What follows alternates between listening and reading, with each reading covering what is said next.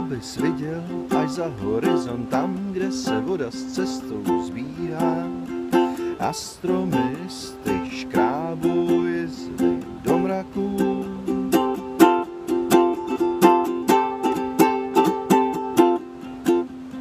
Na cestě stojíš ty sám, na boso kráčíš, jen vpřed tou cestou jdu já. Volný do chodidel mě pálí štěrk a 大美女